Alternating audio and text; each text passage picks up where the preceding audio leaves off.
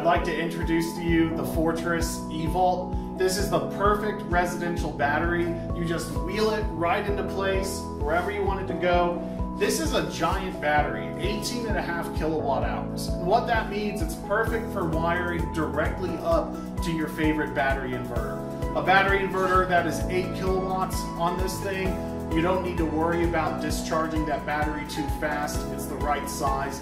And what that means is just one Fortress eVault on your most popular battery inverter is a perfect combination. Of course, this is stackable up to 222 kilowatt hours of capacity, also making it a good off-grid battery or even small commercial.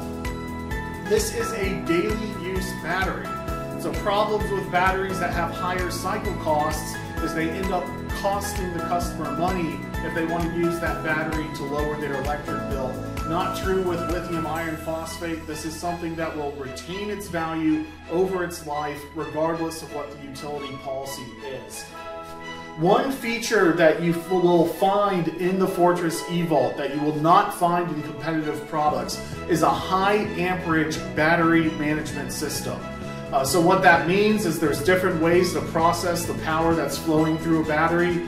Uh, one solution is MOSFETs. That is a low amperage solution. You will not find any MOSFETs in our battery management system. Instead, we use computer processing controls.